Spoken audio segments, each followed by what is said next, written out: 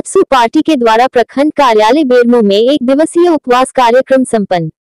बोकारो, झारखंड के बोकारो जिला बेरमो में आजसू पार्टी के अखिल झारखंड पिछड़ा वर्ग महासभा के द्वारा पूरे झारखंड राज्य में आहूत सामाजिक न्याय सभा एवं एक दिवसीय उपवास का कार्यक्रम आज 10 दिसंबर को प्रखंड मुख्यालय बेरमो जिला बोकारो के समक्ष आयोजित किया गया। इसकी अध्यक्षता आजसू के बेरमो प्रखंड अध्यक्ष मंजूर आलम और संचालन सांसद प्रतिनिधि सुरेश महतो ने किया।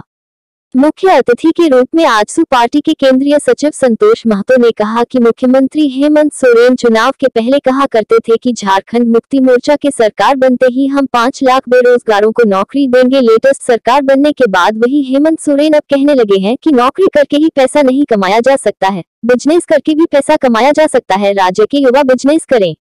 मुख्यमंत्री हेमंत सोरेन का यह बयान झारखंड के युवाओं के ज़िंदगी के साथ खिलवाड़ किया जा रहा है। राज्य के पढ़े लिखे बेरोजगार युवक अंडा नहीं भेज सकते, बकरी पालन नहीं कर सकते हैं। कार्यक्रम को जिला संयुक्त सचिव महेंद्र चौधरी, नगर अध्यक्ष महेश देशमुख, प्रखंड सचिव मनोज महतो, कृष्ण महतो, संतोष रवानी, महिला मोर्चा बेरमो प्रखंड अध्यक्ष पुष्पा परवीन, कार्यकारी अध्यक्ष रीता देवी गोविंद यादव, कपिल महत्व हंसराज महतो, मुकेश कुमार डे, जुगनू जादव पप्पू सिंह, शिवान अहमद, विक्की महतो, बिहारी बबलू, गौरी शंकर, सूरज कानपुर, रोहित चौधरी, धनेश्वर महतो, राकेश तंवर, चंपा देवी आदि कार्यकर्ताओं ने भी सभा को संबोधित किया। मुनीश कुमार वर्मा जिला ब्यूरो चीफ, बोकारो झारखंड।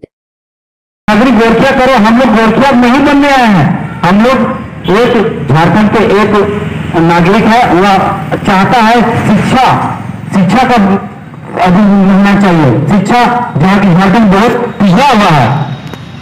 लेकिन उन सबसे बातों को हटा करके इनका अलग ही ज्ञान होता है।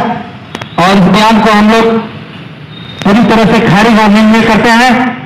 तो हम लोग मुर्गा मुर्गा। और हमारे जितने भी युवा पीढ़ी महिला पीढ़ी है उन सबको रोज़गार मिल सके। इसी बात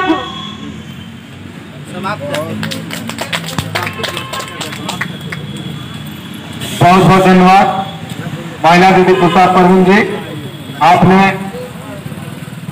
हम लोग के साथ समझ और प्रेमो प्रखंड में अपना विचार इस उपवास कार्यक्रम में दिए। उनके लिए बहुत बहुत धन्यवाद। अब हम चाहेंगे प्रतिनिधि मंच के पुत्र नगर प्रभारी मुकेश चंद्र रेड्डी जी से कि वो भी आए और अपना विचार दें।